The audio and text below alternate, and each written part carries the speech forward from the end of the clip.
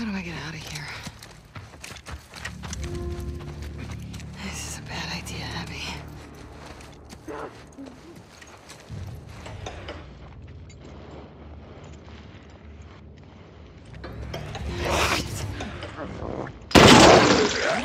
What?